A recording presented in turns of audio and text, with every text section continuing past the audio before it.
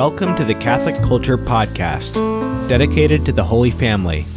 I'm Thomas V. Mirus. Today I'm speaking with philosopher Matthew K. Minerd about the sense of mystery in the works of the French Dominican theologian Garrigou Lagrange.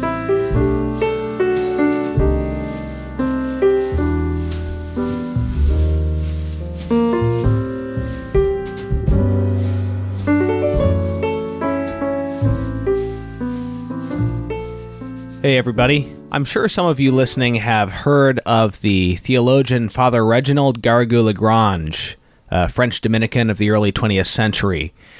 Until relatively recently, outside of traditionalist circles, his name has been very much associated with a type of Thomism that is supposedly rigid and overly concerned with the works of various commentators in the centuries following St. Thomas Aquinas, rather than focusing on the original works of St. Thomas themselves. A way of doing theology and studying St. Thomas Aquinas, which was considered to be basically unhip and outdated. That evaluation of him is now changing, and one sign of that is a series of new translations of Father Garrigou Lagrange's works from the French, which is being published by Emmaus Academic Press, Scott Hahn's outfit. And the first of these, published in 2017, was a book called The Sense of Mystery. Having read this, I will say that Garrigou Lagrange is a profound and subtle thinker, and certainly not, for whatever shortcomings he may have, certainly not someone to be dismissed as an irrelevant old fuddy duddy. Now, the book is quite technical, uh, but I have the translator of the work to hopefully make some of the central themes of Father Garrigou Lagrange accessible. And I think we did a pretty good job, so I'm looking forward to sharing this with you. The translator of this book, Matthew Minerd, I met him back a few years ago at a meeting of the American Maritain Association. And since we originally met, he has accomplished quite a bit. He's gotten his PhD in philosophy from Catholic University. Uh, he's now a professor of philosophy and moral theology at the Byzantine Catholic Seminary of St. Cyril and Methodius in Pennsylvania. And he's been very impressively prolific in the past couple years, uh, working on a number of translations of Garrigou Lagrange and other authors, and writing a number of his own original articles. And I'm actually going to link to an article that he wrote for the Homiletic and Pastoral Review uh, on the importance of chastity in the broader moral life. I think it's a really wonderful treatment of the topic and uh, and I think an accessible piece to read. So definitely check that out. The show notes page, catholicculture.org slash episode 38. Matthew, welcome to the Catholic Culture Podcast. Good to be with you today. The topic of our discussion today is someone who has been accused at times of not having a sense of mystery. And I had a thought last night, and I, I have a feeling you'll like this. Just that saying someone doesn't have the sense of mystery because they make a lot of subtle distinctions, and this is something they say about Thomas Aquinas as well. Saying someone doesn't have the sense of mystery because they make a lot of subtle and complex distinctions is like saying that the music of Bach has no mystery. But there is a reason that sometimes people can miss the mystery. It's that, in a sense, it's easier to hear mystery in something that is overtly simple because the discursive reason can get distracted from the fundamental simplicity that exists in something when it's given a lot of complex material to grab onto. But that doesn't mean the complexity doesn't arise from and ultimately lead to uh, kind of simplicity. Yeah, I mean the Bach image is great too because you know if you think we you know we think of these massive fugues that are incredibly worked out, really, I mean to distinct degrees. I mean with a masterful hand, right?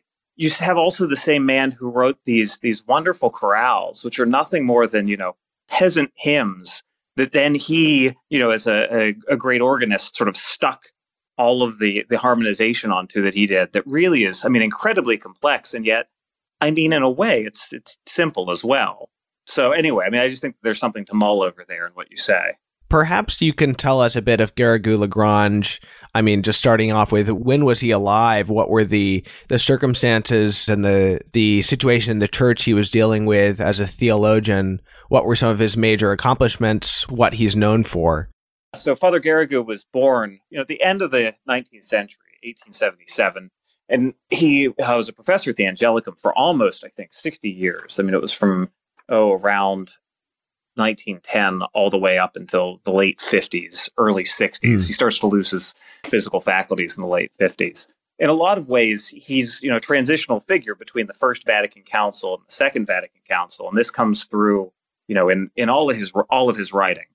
I jokingly said to a, a student once in the seminary who was an ex Latin Catholic who had read a lot of Garrigou Lagrange, and I said to him, I said, "We well, have to remember," and I was unreflecting my comment you have to remember that the First Vatican Council was his Second Vatican Council.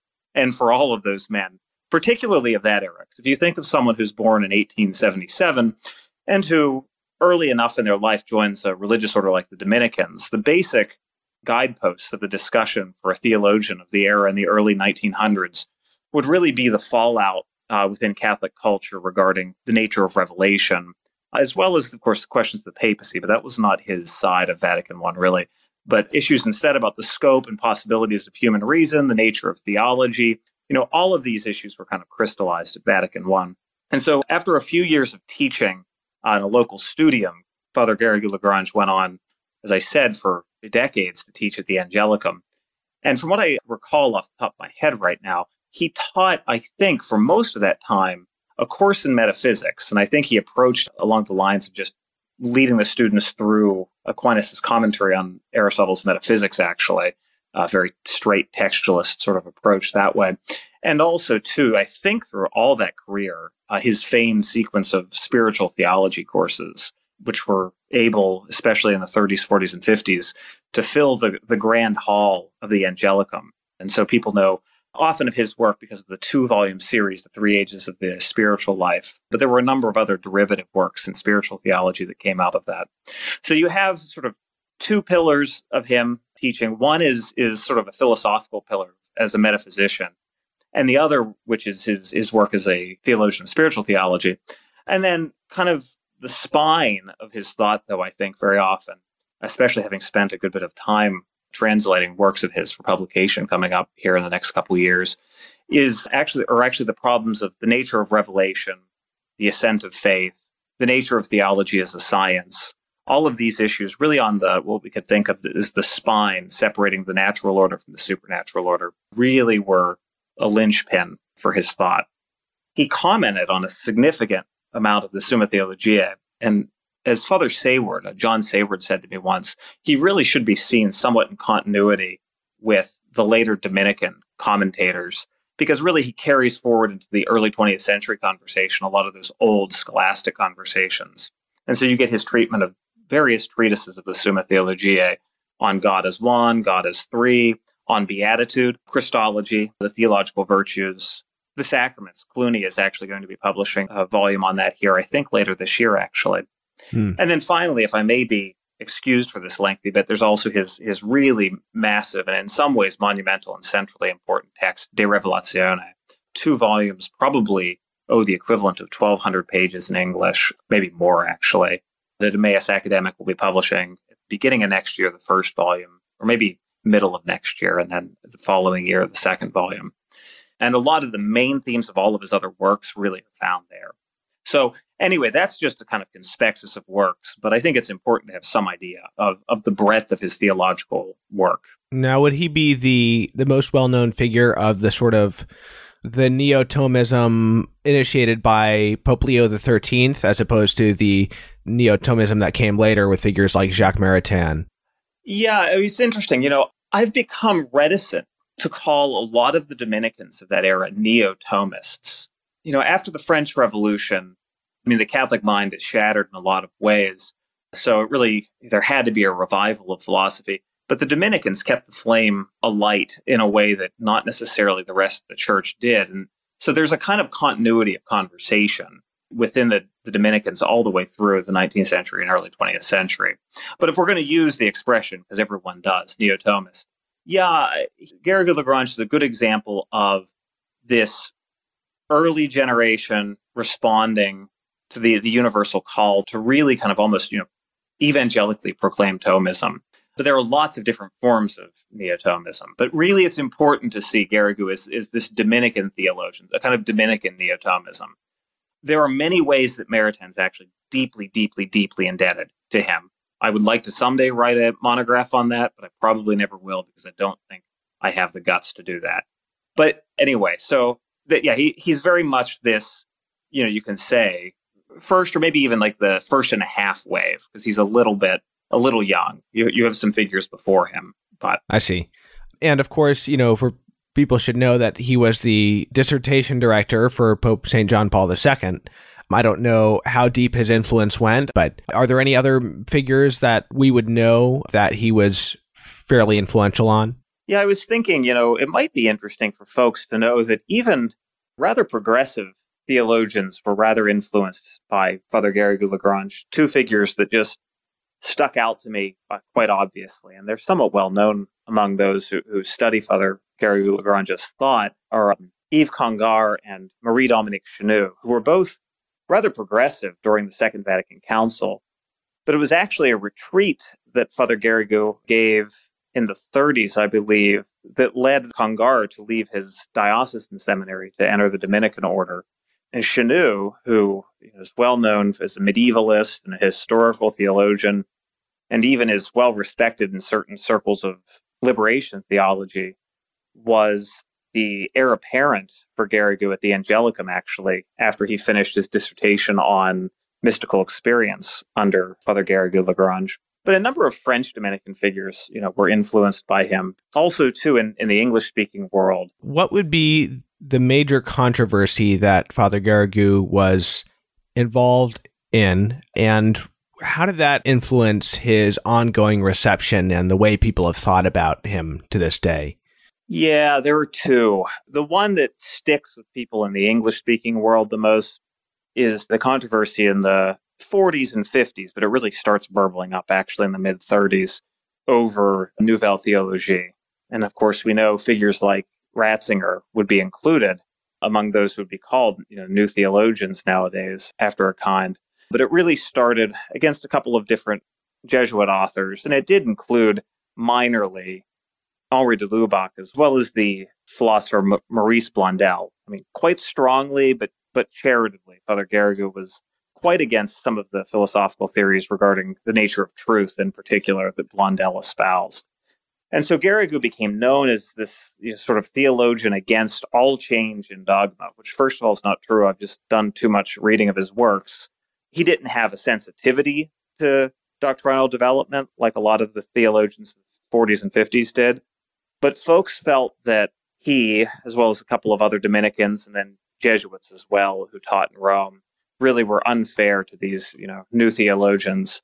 And so certain forces in the 60s really solidified in the minds of sort of the church broadly that, that Garrigou is the image of those who would be against a sort of contemporary and in touch theology that can deal with problems of history. So that's, I mean, the controversy that has burned him into the minds of a number of people. And it divides even very faithful Catholics. You know, I know the John Paul II Institute at Catholic University, where I attended, would have grave reticence over the thought of Garrigou because they're very much de Lubac, uh, de Lubacians, I guess one could say that.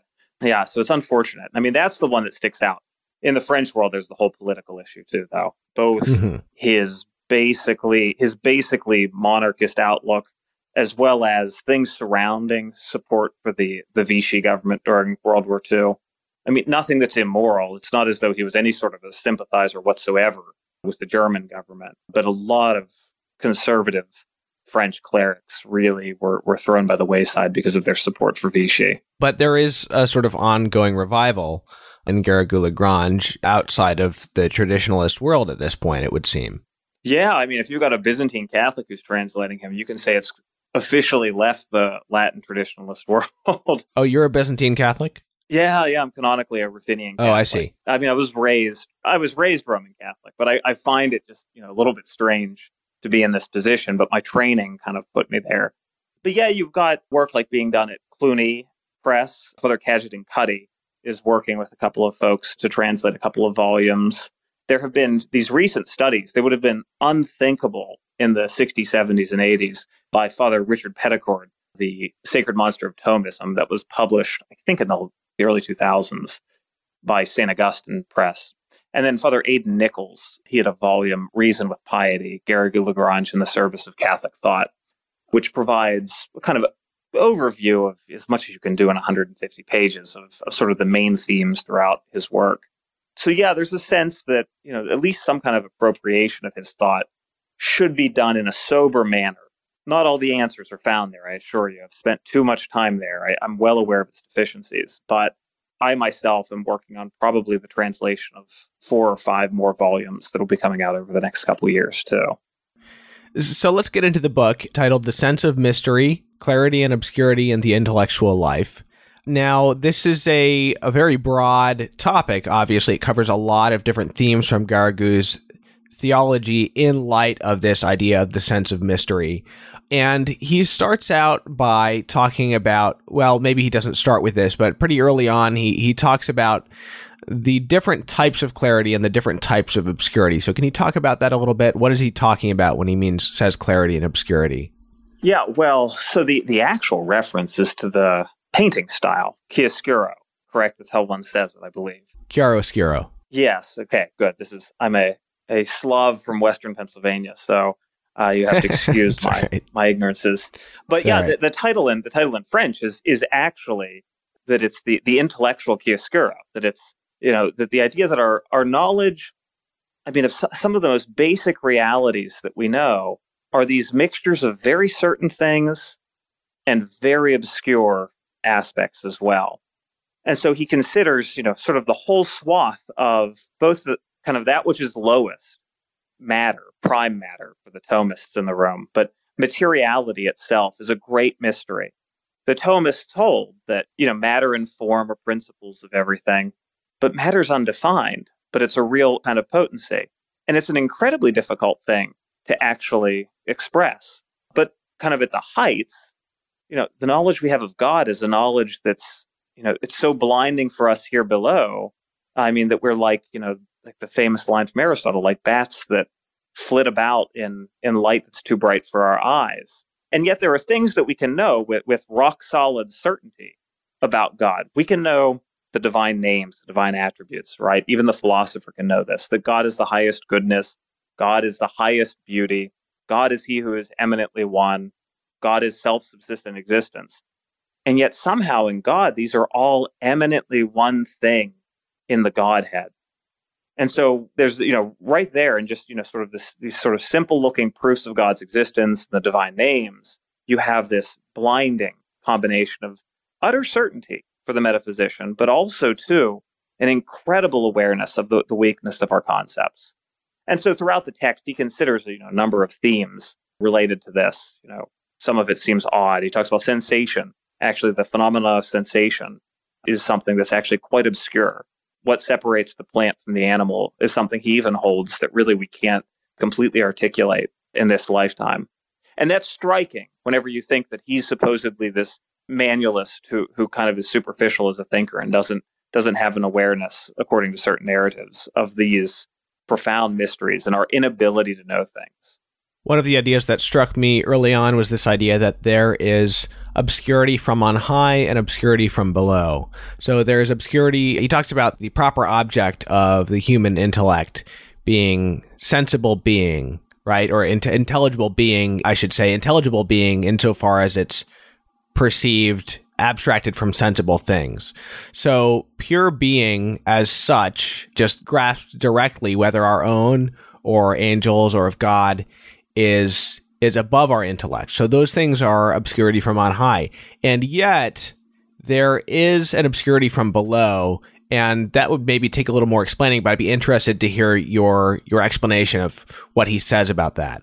Yeah, and so you very well kind of reformulated my last answer to, to put it directly in his terms. So mostly what I was talking about actually was the obscurity from on high, which of course we could dwell on, but obscurity from below, you know, one of the examples that he gives in the text, and I believe I get lost in these books, but I believe it's even the epigram for the text, is about the mystery of evil. Evil is a kind of non-being, right? This is the Augustinian insight, and it's it's very strongly in Aquinas' account of evil. And I mean, non-being is a very difficult thing to talk about because we only know it indirectly, so to speak. You know, we formulate the idea of non consideration of the rule of reason. That's how the Thomists speak of what causes evil. But we're talking about a nothingness like it's a something. So this is, you know, a universal phenomenon that we experience that's, you know, really unable to be grasped at directly. Or once again, this idea of potency and matter.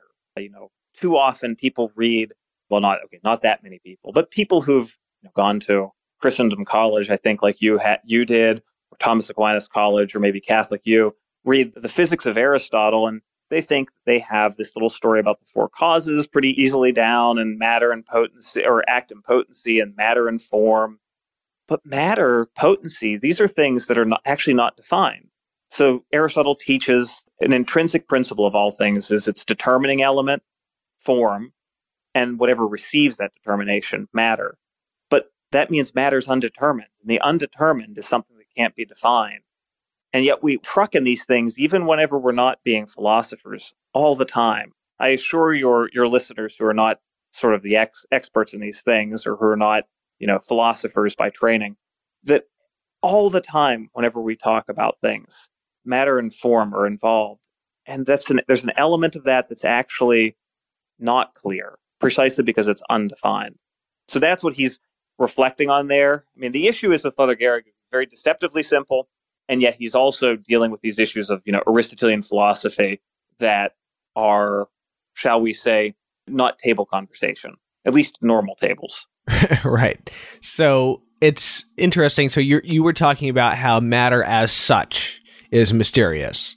But there's also this idea of matter being mysterious in terms of individuality, ma- because matter is the principle of individuality, meaning what distinguishes two things with the same form from one another is their matter that they take part in. So I don't know how to quite approach it, but there's this idea that individuality itself, we tend to think as moderns, individuality is what makes us special, and and there's something to that, but it's not quite so simple that individuality is itself just a sort of unmitigated highest good. It actually derives from a sort of a lack of being, which makes it obscure. Am I am I getting somewhere correct there?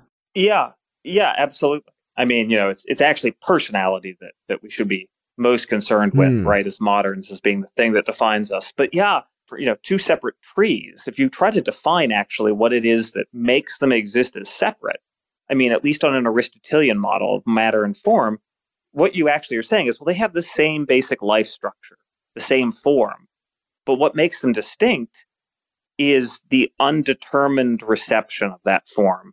And that very fact is, it's, it's like saying there's something almost indefinable that makes them individually what they are. And this is why actually you have that maxim from St. Thomas, probably cited by Garrigou in the book, actually, that the individual is ineffable because the individual can't be defined.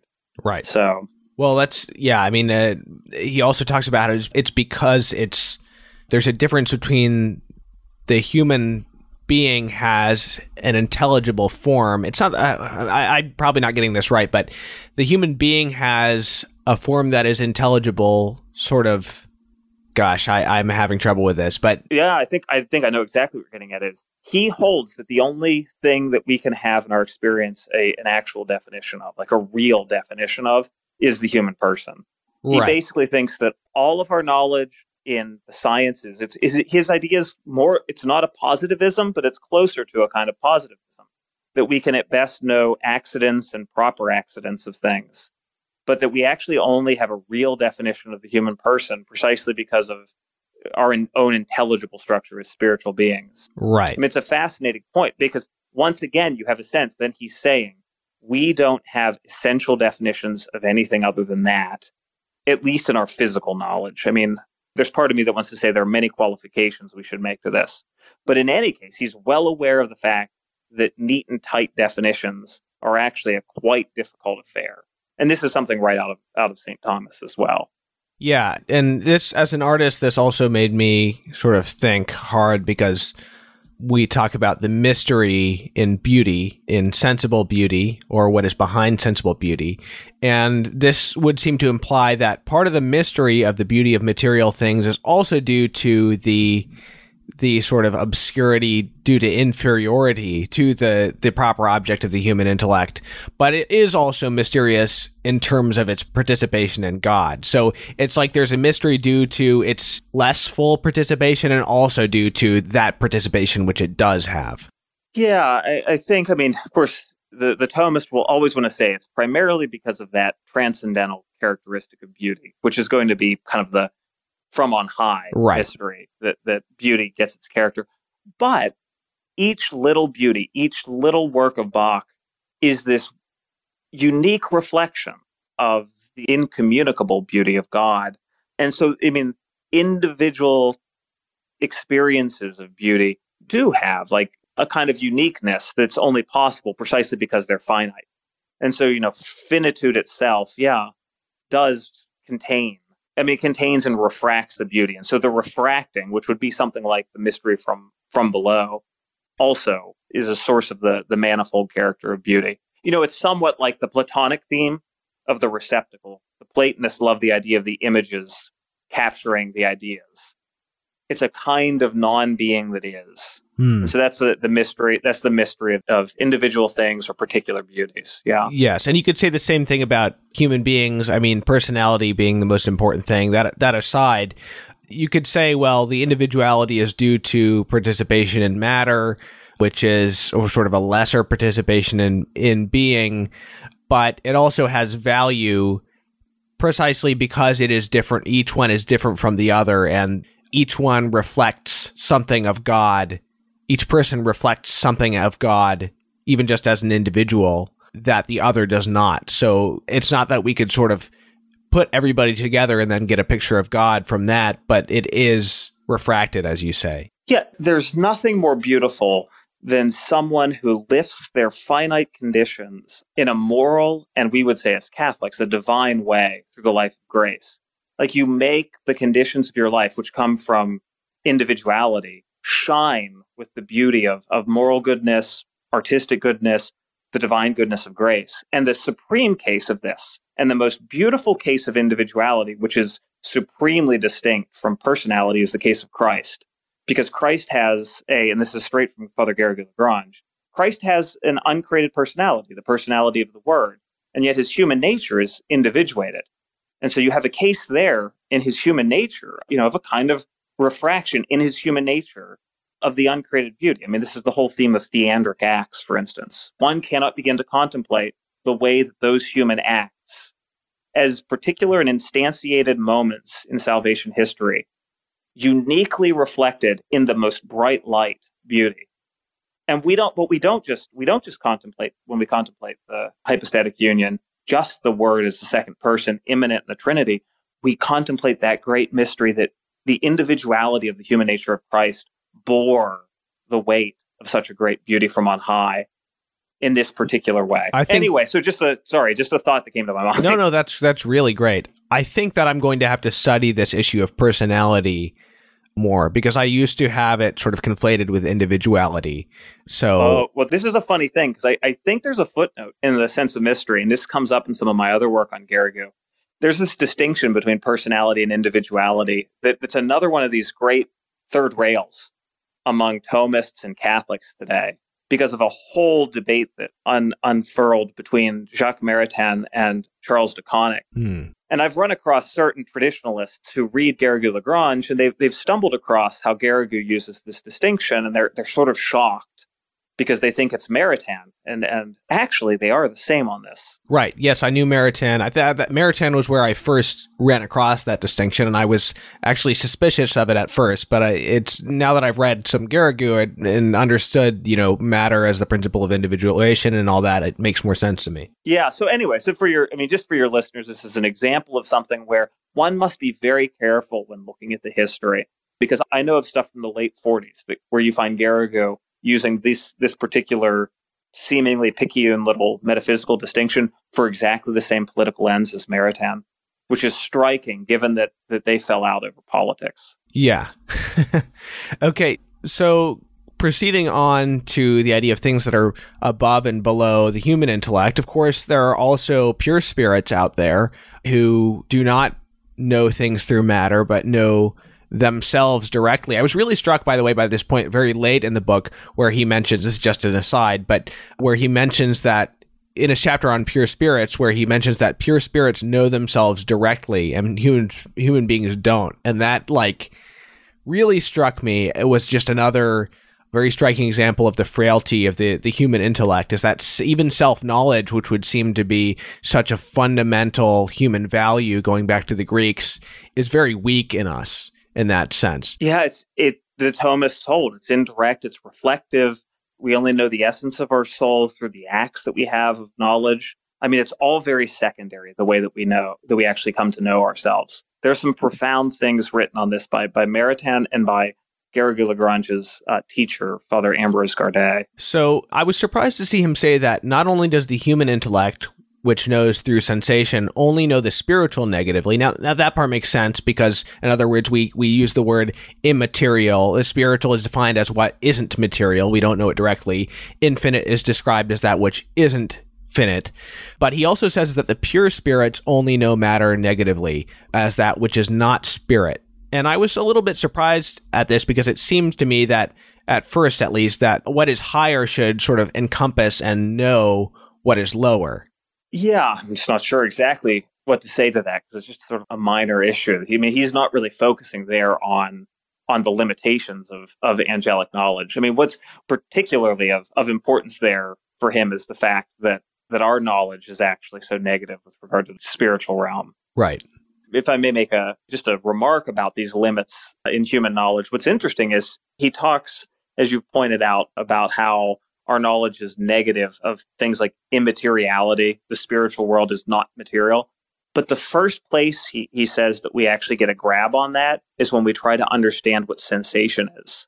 Because following the, the Thomist school, he holds that even sense knowledge in animals is a kind of non material reception of what is known. Oh, really? It's not spiritual, but it's, yeah, but it's non material. And he, he makes this point. I can't remember if it's in here or some other works, that this is an example of already even trying to understand what just sensation is as being, you know, different from, you know, a cup becoming warm is very different than a sense of touch, sensing the other thing being warm. And coming to, to define what that difference is, he thinks is immensely difficult precisely because it's already an example of us trying to grasp our hands around immateriality. And it's, I can, on very technical grounds, I can defend that as well. I mean, it's it's a profound thought. I've meditated on it very much. He has an interesting discussion of the relationship between common sense and philosophy. And it's interesting because he says that philosophy wonders at everything. It wonders at the slightest things like even things that we take for granted in common sense, like sensation and motion. And because philosophy sees the mystery in these things, certain philosophical systems, you know, going back to the pre-Socratics, are led to deny these things because they're so hard to explain from universal causes. Whereas common sense sees and acknowledges and takes for granted what it's in front of it and it is not even aware that there is an underlying mystery. And this is one of the things that has to be very carefully balanced in philosophy. Yeah, and if anything, Father Garrigou is a kind of great proponent of common sense. The the second chapter of this book, where he has this, you know, little reflection on the verb to be and its meaning and its scope, is kind of a reflection on how our, our language of just using the verb to be hides sometimes from us the immense mystery right under our gaze.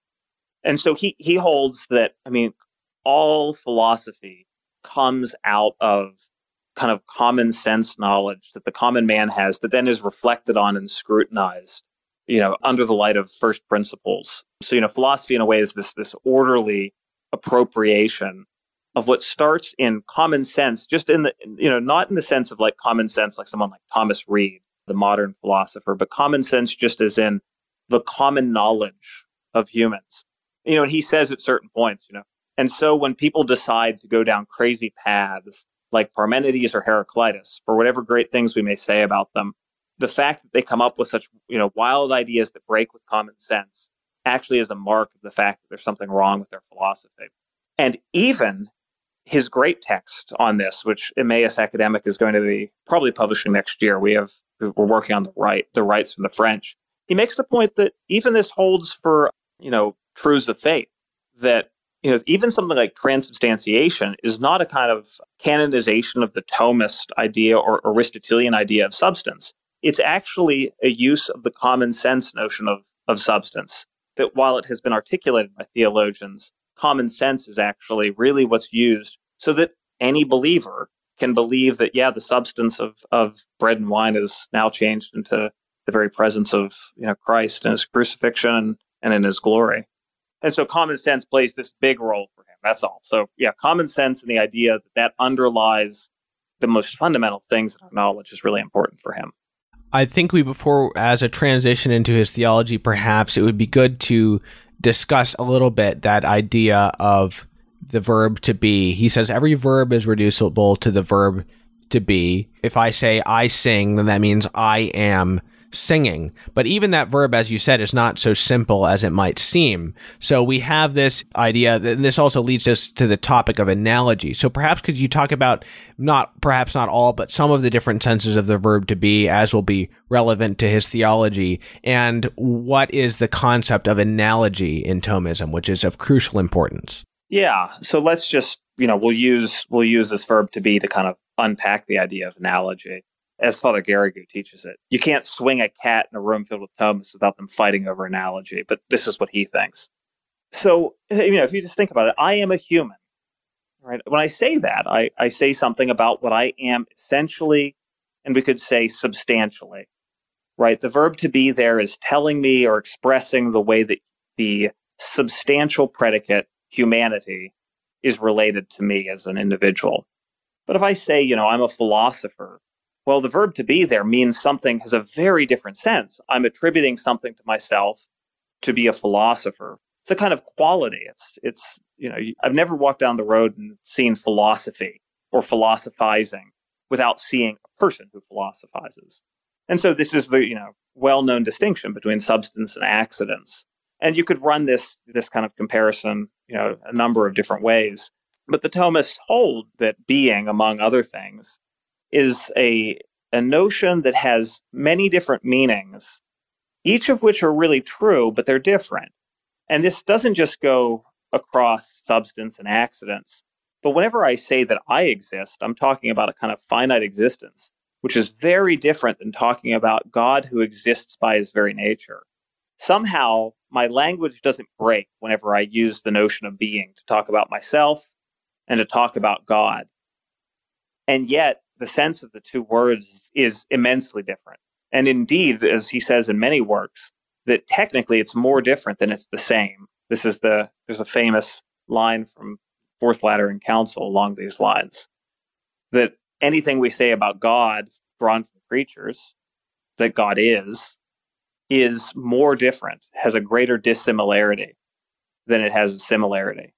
So this notion of being, to say there's an analogy between created beings and the he who is the infinite being, it's very, it's very difficult. It's tempted many theologians to say that actually what you're doing is just using two different notions, what would be called equivocation. And it's what separates the Scotists from the Thomists, but we don't need to go down that line. Hmm.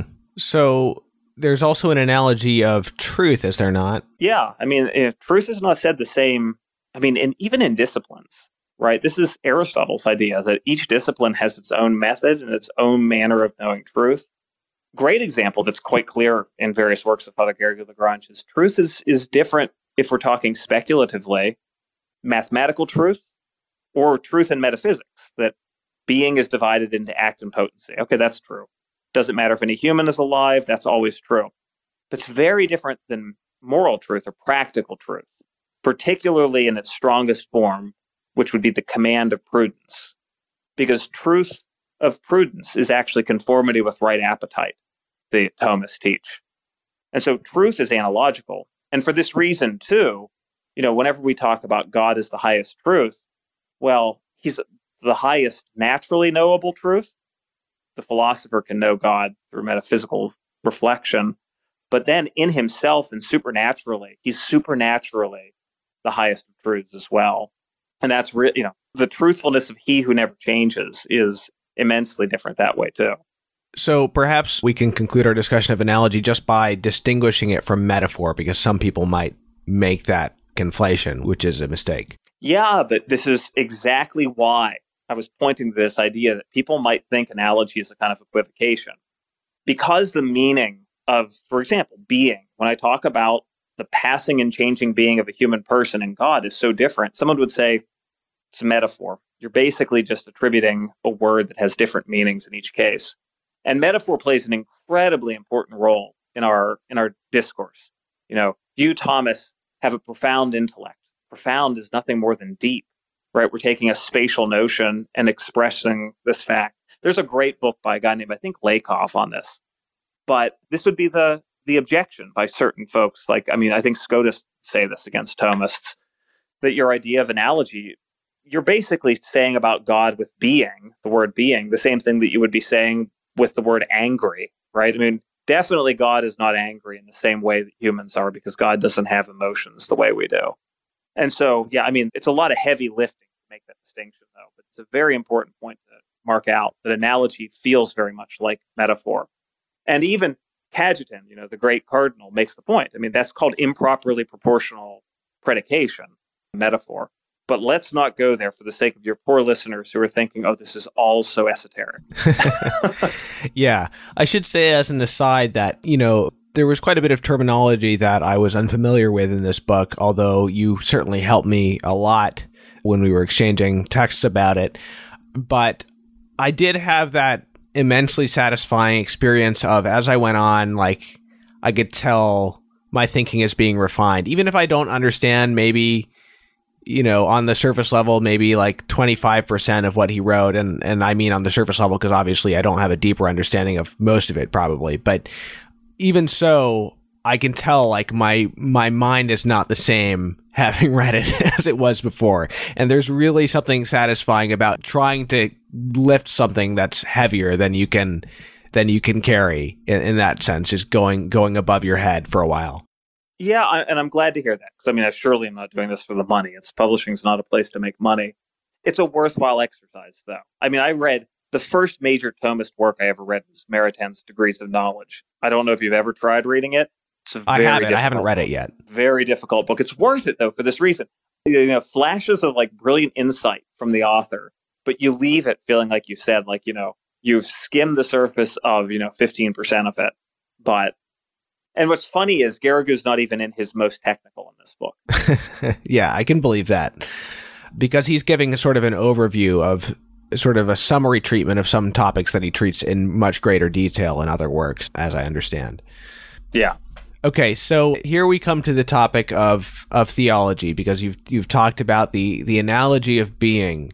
So the formal object of theology is not God insofar as he is related to us. So I'll just I'll just say that and let you go from there.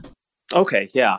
Yeah, so at this point, you know, we've talked about, you know, for instance, how we can know God and all of these sorts of things. But our, our basic outlook has been how we know God by, you know, reasoning to him. This is, you know, what the philosophers talk about doing in metaphysics or natural theology. But, you know, as I said to, as I said to my students, you know, God would remain God even if he had not created. God in his inner mystery is something immensely more than God the first cause. The metaphysician looks upwards and sees God kind of as, you know, reflected through our knowledge of creatures. But that's like looking at God through the most dim, dim, dim, dim of mirrors. To know God as the first cause is a very indirect way. And the gift of faith is, I mean, it's a supernatural eye that we have. The Thomist position on grace is that the very object of faith is God obscurely known in the inner mystery of the deity, the inner mystery of what God is. It's a participation in his own self knowledge that we have here below.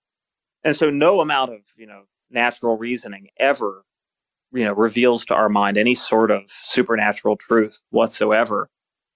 And this has repercussions. I mean, throughout really the whole of our our moral life as well as the life of the theologian as well. Because if theology really is rooted in faith, it takes its point of departure in this supernatural light. To make, it makes for some problems too for the person who doesn't have faith. They really can't be a theologian, Garrigou thinks. But anyway. Well, yeah, that, that would make sense. I certainly agree with that.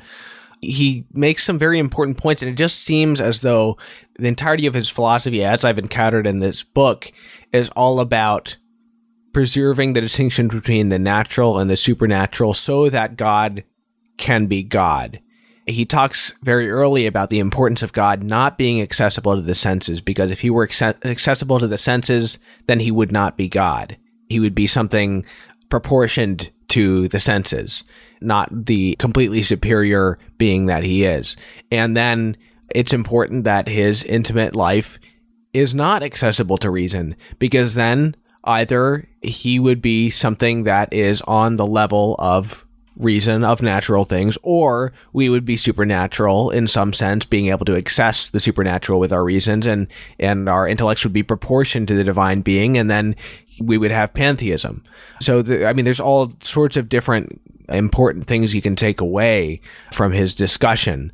But yeah, I mean, it, I don't know where else we can go. Of course, we could go in any num- any number of directions, but it's just fascinating to really sit down and reflect on how distant we are from God. I mean, it's easy to say that, but all of these small important distinctions that Garrigou-Lagrange makes really point to this huge, hugely important distinction.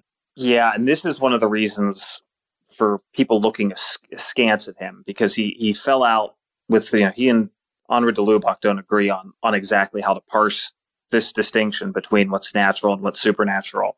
But it is like a golden thread running through Garrigou's mind that if you don't make this distinction, the things that you say could follow from it that you won't understand the grandeur of what the Christian is called to and to the life that we begin living here below if you don't see that it's an essentially supernatural life. It's a, very, I mean, very important in his mind. And what's interesting, he has these chapters. I don't know if you remember reading that first chapter of the second section of the text, where he talks about can reason prove if there's an essentially supernatural order of right. truths? Yes very, I mean, it's a very technical chapter, I would think, correct? Yeah, for sure. But, you know, I mean, you're well, I mean, you know, well educated, you know, so, you know, I'm not trying to scare, scare the listeners away. But at first, it seems like this sort of odd question to ask. But he's very concerned with showing like almost as high as reason can go. And he, he even says, since we're aware that God can know himself in the highest way, we can say by reason that, that there's a supernatural order of truths that we can't know. Like that is like this golden highest point that reason can go and then is mute. Yeah, as to the content of that supernatural order. Yeah, but that's I mean it's very important to, to just sort of take time and, and stay there. So you know, just sort of meditatingly stay present to that fact that you're able to know that point. And this is what, what the Thomists refer to then is you can even have a non-efficacious desire for that. You can have a desire that would say, I can know of that. And it would be so wonderful if I could know that mystery, if indeed it were possible, and yet it's not, for I see not how it could be. And this is precisely why there's no demand that nature can make to be fulfilled by the supernatural order by Father Garrigou-Lagrange. This is why the second chapter then moves on to this question. We can't actually demonstrate that the direct vision of God is, is something we know by reason alone. And it sounds so technical, but it's it's the the life of our life because when that answer comes whenever by revelation we find out we are actually called to that immense and eternal life that un- is unchanging in the contemplation of God in the hereafter we actually find out that our highest hope is fulfilled that we never could have dared to hope for as with so many things reading this book i found myself being forced to separate concepts that i had sort of lumped together now of course, I knew that you know having a relationship with God as Father is different from just as as the creature to the Creator. But you know, when we think about desire for going to heaven, we kind of lump together all these things: the desire to be serving, loving God and serving God perfectly, the desire to be at perfect peace with God as our creator, the idea of existing in an order of perfect happiness and justice, the desire to be loved by God in some sense, to be with God in some sense, but the the beatific vision, what it is in itself, is more than just sort of being with God as the creature is to the creator or something like that, even if that were were able to be done perfectly on its own order, the, beatific vision is truly something that I cannot really conceptualize or or imagine what it's like. So I, I it made me realize that I've hardly even as a Catholic for, you know, 29 years, I've hardly begun to desire the beatific vision as it is in itself. Yeah, because the only concept that expresses it is the vision itself. Yeah. That's it, right? And yet what is it? It's, you know, it is all these things that you say. I mean, people have very good and, and correct desires for heaven, but above all, it's the intentional union in the same life, in knowledge and love, that is the divine life. It's not a pantheistic confusion, but it's, I mean, we will live through knowledge and love, the very life of God in an unmediated fashion. The concept, if we can use that word, the concept that we will know is actually God directly. You know, which is, this is, this is making the beatific vision sound like something static. We'll share the life and love of God. I mean, directly. It's immense. And that's our life here below. That's what faith starts here below. Grace starts here below. Right.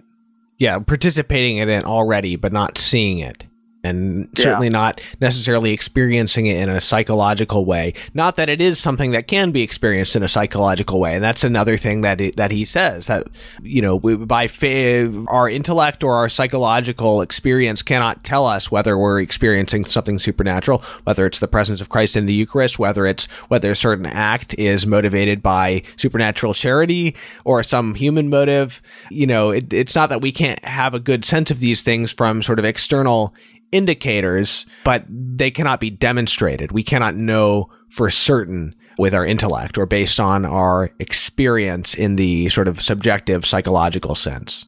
Yeah, which is I, I just think a great example of I mean this this immense sense of mystery that he has. That even in the living out of our life of faith that it's that this is the case. This is also why at the end of the book he talks about the the nights of the senses and the nights of the spirit. Sure because that's you must be pure must be purified for that. Yeah. Yeah. Um, it's I, I will say just as an aside, I I haven't read de Lubac's work on natural and supernatural, but I do, based on reading Garrigou's argument, I do tend to agree with him that you know whatever you can say about the heights to which man's natural desires can reach, as with his his knowledge, if man were to naturally desire, in an absolute sense, the beatific vision as such, that would mean that man's nature is proportioned to the supernatural, in which case there would be no need for grace to elevate us to that level. So it makes sense to me that not only the reality and the achievement, but the actual desire itself would need to be brought on by grace. Yeah, and that's at least what the Thomists, you know, who, who get worked up at de Lubac, think they see and it's not completely clear. That's clearly the bent. I mean, he would never, he doesn't hold, of course, that nature demands grace. de Lubac doesn't hold that. Of course. But, you know, someone like a Garrigou says we've got to be crystal clear in making our distinctions here. It's very important. But the Thomists say distinguish in order to unite. if I remember correctly, de Lubac said he loved to say, ah, but you should first unite things in order to be able to distinguish them. As you know, so to a Thomist, it's just two different ways of going about things. So uh, it, it just gives the jitters to the Thomist. Right. So there was a big question that I've had for a while that this book basically answered for me. And that is, what is it about the theological virtue of faith that makes it supernatural? In other words, I tend to think of sort of the the external things that make faith credible, for example, the longevity and the the consistency of the the Catholic Church, things like that as sort of the reason that faith seems credible to me. Not not of course the reason that I that I think I know these the things that faith teaches through reason, but you know, I also know that people have the capability of simply arbitrarily deciding to believe things without knowing them and without having supernatural faith. And also that, you know, through miracles and things like that, people can come to conclude that something, the truth of something can't be denied. So, what is it exactly that makes faith supernatural? And what he says is something quite profound, which is that the formal cause of faith is not the external authority of the church, although that's an instrument that the, is used by the formal cause.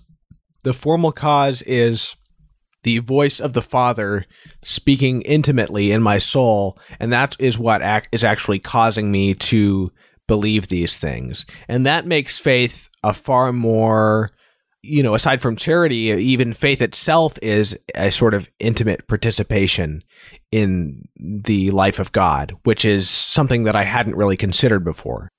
Yeah, this is a very, very, very important thing in his book, De Revelatione. I mean, the whole book is actually on this topic 1200 1400 pages worth that it's very important to, to have what's called a judgment of credibility that it's rationally believable both for kind of miraculous reasons as well as the fact that revelation fulfills our deepest desires to believe that reason should be able to say that is something i should believe and yet there's an infinite separation between saying that's really and truly believable and belief.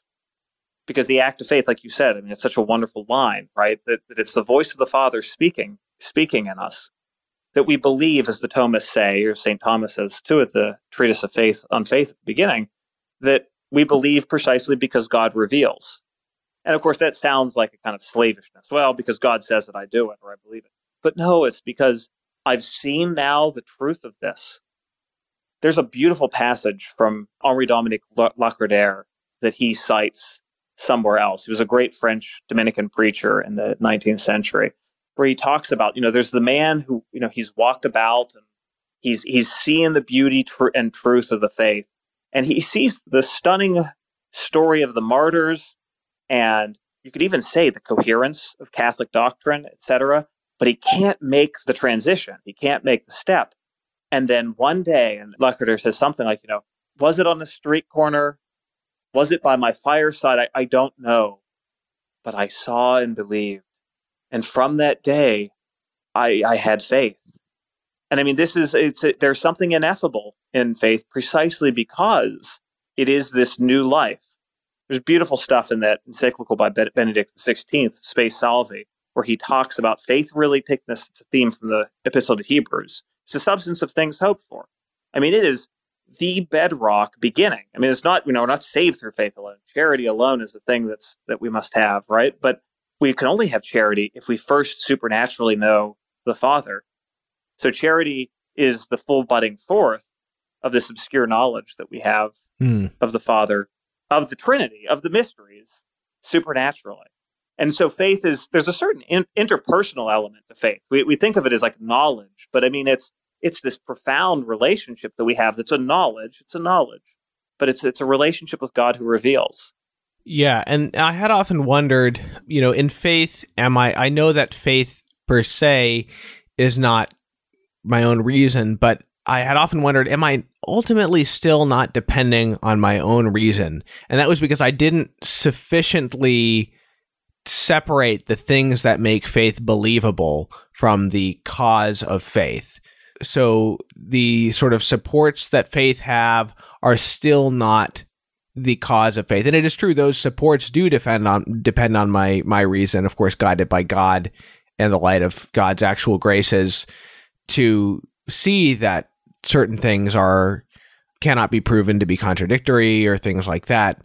But ultimately the cause is something supernatural. So it, it did very much help me to sort of resolve that issue that I, you know, had just sort of had to set aside because I hadn't been able to figure it out. Yeah, I mean it's and it's a great thing in one's spiritual life to be aware of this. I mean, you know, we, we live as humans, so we have to see that it's it's reasonable. Like we have to defend the faith to ourselves, and St. Peter tells us that we must do this.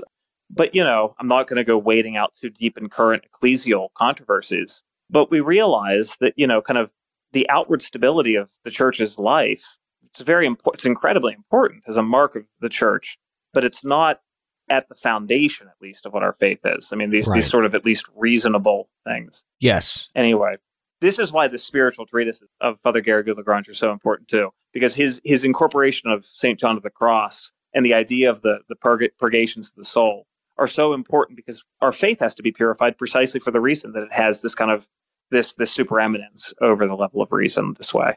So I was just going to say that he says something similar with regard to hope. That of course we cannot know what is going to happen in the future. We cannot know unless we have a special re- revelation whether we will have final perseverance and things like that. But you have the the certitude of hope is based on a tendency but it is not based on tell me if i'm totally butchering this but it's not based on the graces we have experienced in the past or this or that grace and this or that example of God's goodness that we've had in our life, it is based on the goodness of God Himself. So again, the formal cause of hope is not this or that manifestation, it is God's goodness itself. Yeah, it's hope is founded on the, the sureness that we have that the providential Father, through his Son and in his Spirit, will provide for us to eternal salvation. And so it's our trust in God for us, or it is our tendential certitude. It is, he does talk about it as a certitude of tendency. It is our tendential certitude while here below that we're sure because God indeed is that good that he is the one who helps on the way to salvation. That's why the hmm. theological mm. virtues are specified by, by God. God is obscurely seen. The, in his mystery, faith. God in his mystery as the great aid of, of the believer. Hope. God loved in his immense goodness for his own sake, charity. Okay, so it seems like the the climax of this book in many ways is his chapter on the eminence of the deity. We've talked about this difference between God as he can be known through philosophy, through his attributes and things like that, and God as he is in himself as he knows himself, the intimate life of God of the Holy Trinity. And you mentioned at the beginning of this interview, in particular, the idea that the philosopher can discover these names of, go- of God, the divine attributes, and yet not know how they are all reconciled in the deity and how the deity is somehow above these divine attributes, even though they are identified with God by the philosopher. This is a obviously very mysterious right off the bat. So one example that he repeatedly uses is how do we say that God's in the Godhead God's justice and God's mercy are identified that he is justice itself, he is mercy itself. And yet we do not say that God punishes by his mercy and, you know, saves by his justice or is merciful by his justice, but they are somehow both in God. Yeah, or he doesn't he doesn't punish by his beauty, as I tell my students sometimes. Right. And yet his justice is beautiful, but it is not the same. So we have all these yeah. questions of distinction. What kind of, in what sense are these things distinct? In what sense are these united? So I'll just, yeah, let's let's talk about that a bit. Yeah, that's it's it's not the last chapter, but I think it's the most beautiful chapter in the book. I thought it was so beautiful that I named my daughter after Cajetan for crying out loud, who who is the central figure in there. Her, her middle name is Gaetan. No one ever pays attention to it because it's too weird. but it's it's a beautiful, beautiful reflection on the fact of the the absolute unnameable eminence of God. I mean, as we said about the beatific vision, the only word that speaks the beatific vision to us is the actual vision itself, because somehow, eminently in Himself, God as God, the, the deity, one and triune, is, or, you know, has all of the meaning of beauty and unity, right? His unity is, is immensely strange. It's a triunity existence that's self, self-subsistent, that he is, he is he who is the highest of wisdom, the highest wisdom ever actually wise and always being wise. All of these things. If we say, how do those exist in God? We don't say they're there separate. We just say, they're there as God. I mean, it's an unspeakable mystery. So I apologize if I'm, you know, somewhat, you know, stammering the point, but, you know, Cajetan says in a quote in that chapter, you know, I have it in front of me, luckily, but I didn't know if I was going to actually get to it, but it's so appropriate to my stammering. He says, you know, before all the other ways we can know God, you know, through various ways that we attribute properties to him, we can consider God in himself, you know, in, in accords with his own nature. And we it's an impossible word in way in a way to translate, but it basically reads, and we circumlocute. We talk around, we circumlocute around this nature of God by means of the term, the name deity. So it's it's it's it's immense. It's this one little word, deity, which is like throwaway. It's like, yeah, okay, God abstractly considered. What we're actually trying to say is he who actually contains all of these perfections in an eminent manner and contains the mystery of the Trinity all as the deity because there's no distinction except for the opposed relations of the persons. Right. Yeah. And so when you think when you think of all of these other topics in the book, it really does represent a great meditation on just how supernatural God's supernatural life is. And then that that we should we should fall to our knees in appreciation for the fact that we've been given a participate a real participation in that life mm. through grace. Amen. Yeah, because you know, again, before reading this book, I would have said God's justice is identical with his mercy. And again, as they actually exist, they're not distinct in the Godhead, but in the analogical sense in which we speak of them using those words, we can't really say they're the same, but they are as they exist as the deity. Uh, maybe I'm butchering it Correct. even there. Again, it's it's mysterious, no. but no, but you're correct. They are they are one in a an eminent nature, and they're they're separate. If we want to get really into the the heights of Thomist vocabulary, they're distinct according to what is called a minor virtual dis- distinction or a minor conceptual distinction by way of that which is implicit and explicit. But it's a conceptual distinction, which doesn't mean that it's just subjective, that it's just our kind of distinction that we're throwing around. But whenever you get into the case of God, all of this stuff is actually there. It is the same because it's all contained somehow mysteriously in the eminent reality that's the deity. This is a theme that deserves, you know, meditation and why it's so important to read someone like Garrigou who knows the school so well and all of the debates that surrounded this from the 1300s on. I mean, there were many, many debates over these matters, and it required the Thomists to get very laser focused on it. And I mm. think hmm. that the book, and I think you can attest to this, the book actually inspires awe, which is, I think, a mark of its truth and why it's so worthwhile to, to do this. I mean, it's really hard stuff, but boy, it's worthwhile for the spiritual life, I think. Yeah. He also discusses sanctifying grace, and I mean the question that I that I have is, and I, I can't say that I fully understood his response, but he does tackle this question, this potential objection is, if you know goodness, oneness, beauty, etc., are things that all creatures necessarily participate in, why don't they naturally participate in deity itself? Yeah, so I mean the copy we can say the copy that creatures are as natural creatures. This is why the distinction between nature and the supernatural is so important. As natural copies, as finite copies, they, they don't they don't they're not actually their formal cause to be very technical, but their formal cause is not the deity. Whereas the formal cause, the objective cause, the formal object of grace is the divine life. And it's what, that's what's unique about spiritual beings is that we have a capacity to receive this. It's, it's an open capacity. We talked a little bit about this earlier. We can't demand it, but we have this openness through our obediential potency, the theologians call it, to being elevated to this supernatural life and that's what grace is is this it's why it's so different than anything natural yeah i guess i don't still i still don't fully understand since you know god is not divided there's no distinctions other than of relation in him in a real sense how the formal cause can be one aspect of god and not god himself yeah let's take a platonic moment because this is what i've i've done with students before but it's i think it works you can copy one very beautiful thing in many, many, many different ways. And so natural creatures are just, we could say, once again, we're circumlocuting around the mystery, but natural creatures are only a natural copy.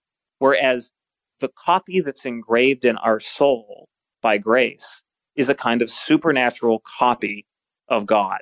My words are, are failing. So, you know, I'm, I'm simplifying things, but you can copy one thing a multitude of ways without changing the thing you're copying. Hmm this is actually this is at the heart of certain major divisions between Palamite thinkers in the Orthodox world and Western thinkers. So I mean, you're you're touching on an issue that's you know ancient. Okay, well, I I probably won't figure it out in this podcast, but could you just very briefly touch on the way he treats the Trinity in that same chapter in the context of these distinctions we've been discussing? Yeah, this is one of these quotes from Cajetan that's sort of nosebleed difficult in the text. But he makes the point that, you know, it's not when we think of God that we have to try to fit him into okay, is he one or is he relational, right? Is he one or is he three persons, as though there's some kind of division we have to fit him into? But rather, God as what he is, as the deity, is in some way you can say he's not above being one and three, but he contains both that which is one and that which is three in the very eminence of what it is to be God. It is a beautiful quote, but it's a, it's a, it's a very tortured quote as well from Cajetan in that chapter where he talks about this.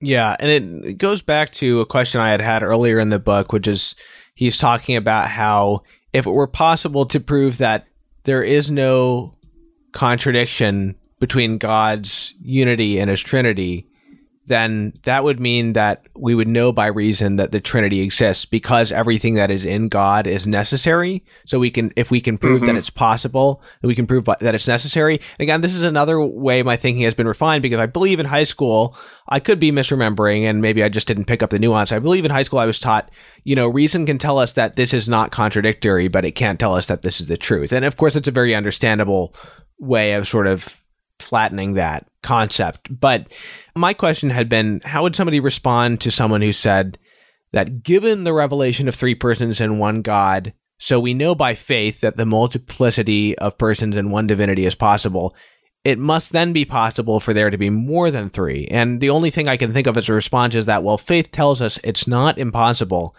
It doesn't tell us why it's not impossible.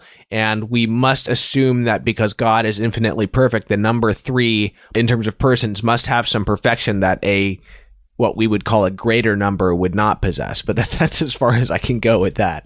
Yeah. So two things. I mean, one, yeah, you very astute reader. I mean, you picked up on this little tiny theme that if you positively prove that something is not contradictory in God, you would then prove it in the end. Because because yes, this would not be true so of contingent things like the incarnation, although we can't prove that that's possible either. But uh, with the Trinity, is, is the, so, the intimate life of God, so everything there is necessary. There's nothing contingent. Yeah, exactly. Now, of course, you, you can show that objections are not necessary. Is of course what one can do, and you can show that the Trinity is reasonable in a sense, but you can't actually apodictically prove it that way.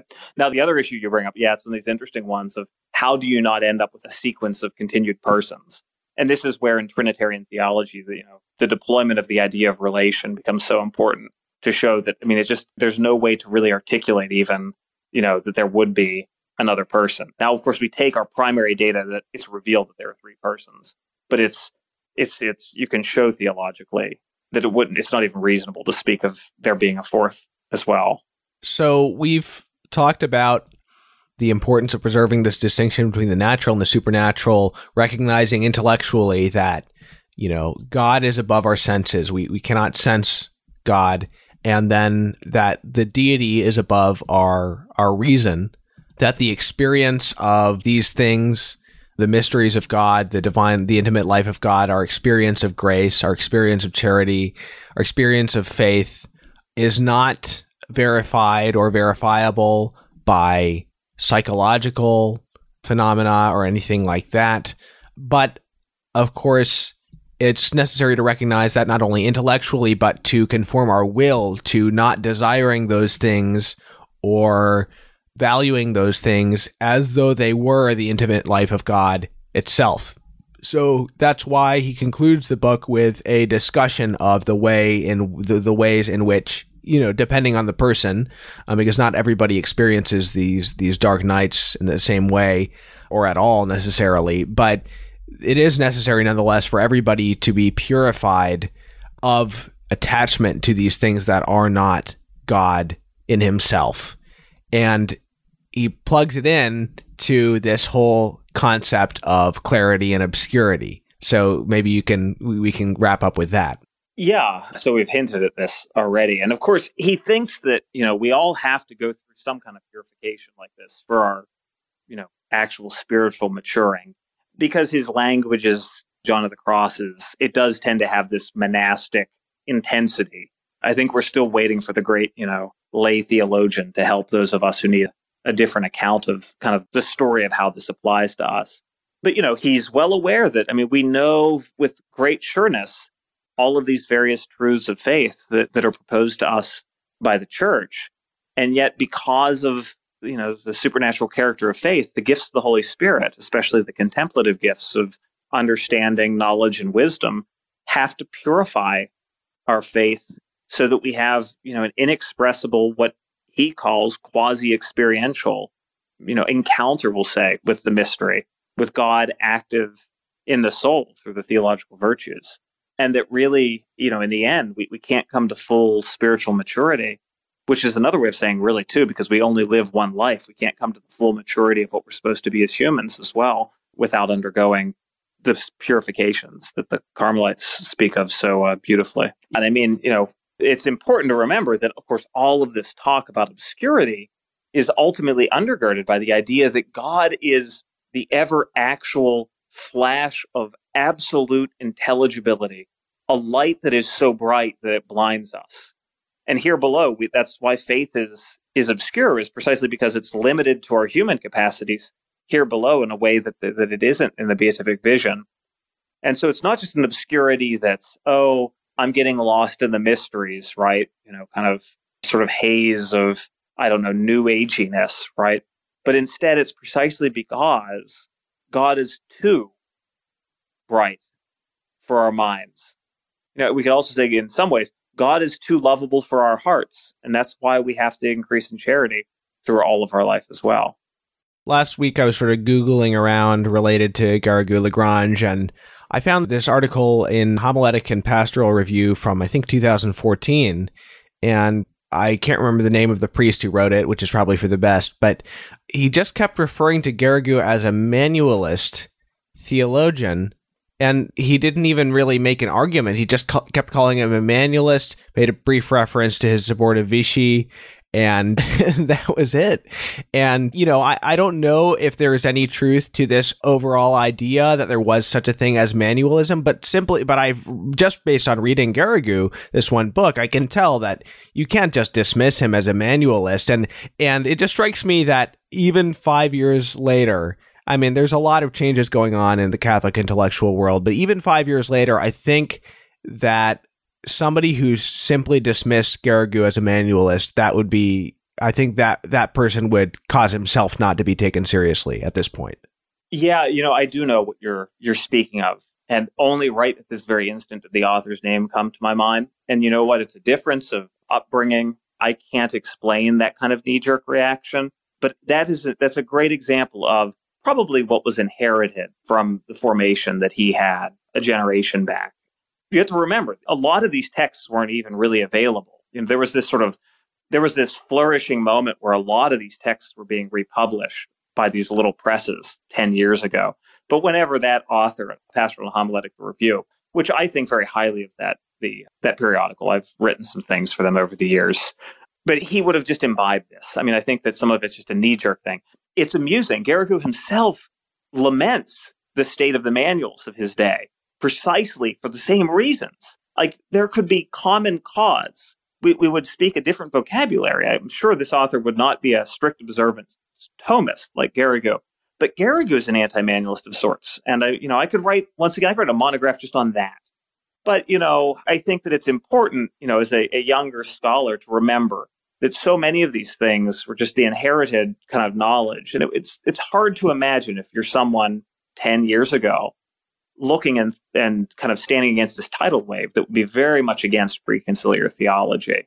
Right. right? So it's important not to get too angry at these these folks who who inherited this kind of incorrect narrative. I'm saying this as a kind of therapy for myself. I always have to keep myself calm. right. Yeah, I understand. Well, it also struck me that I think people of my generation who did not grow up feeling that they needed to defend Vatican II exactly, or, or that they took it for granted and did not feel like they had to defend it as against things that came earlier. I don't even mean in terms of a clash of pre Vatican II and post Vatican II doctrine, but just in terms of a way of of seeing things on the ground level I use that expression too much and doesn't even mean anything. But yeah, uh, it's just interesting. I think I think it's just a general, as you say, it's a generational thing as well, and you can see that in a lot of ways where people are questioning the received wisdom on things like religious liberty and saying, is that actually what Vatican II said, and we need to interpret this in terms of in the light of what had already been taught in the 19th century and and things like that. I mean, there's just a lot of that going on. So it's interesting to look at this phenomenon with Garrigou Lagrange as part of a greater shift in Catholic thought. Yeah, I think that's a, a really good analysis of sort of where the the mindset is nowadays. Yeah, it's not a kind of archaism. It's just trying to I mean, reorient really the kind of hermeneutic theologically and philosophically and ecclesially to, to kind of incur, in, include this broader view and not inheriting whatever was inherited as kind of the necessary task that faced people in their minds, at least in the 60s and 70s and 80s. And it's on many fronts, as you know. Sure. Okay, well, that's a great place to wrap up. Thank you so much for coming on and sharing your your wisdom and expertise. Well, thank you. It was a really good conversation, and just I hope all your work continues apace. It's very enjoyable. So have a good day. Thanks. Thanks. Today's reading is actually a quote that I found in that article on chastity by Matthew, which I am linking to in the show notes page. It is from the Anaphora of St. Basil to prayer against heresy. By the power of your Holy Spirit, end the schisms in the Church, quench the raging of nations, and quickly destroy the insurrections of heresy. Receive us all into your kingdom, showing us to be children of light and children of the day. Grant us your peace and love, O Lord our God, for you have given all things to us. Amen.